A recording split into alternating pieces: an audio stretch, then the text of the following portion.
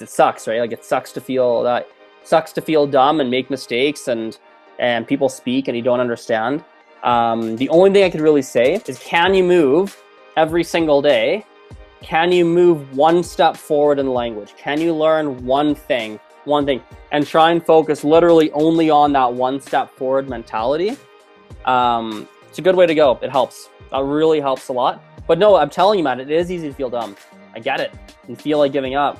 But the reality is, what's your options, Patrick? You could give up. Sure, go for it.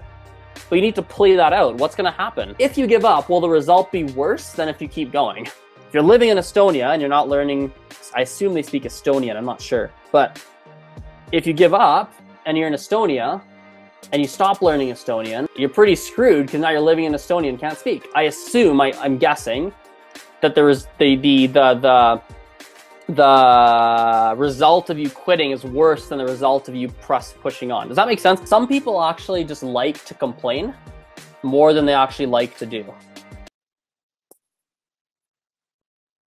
No?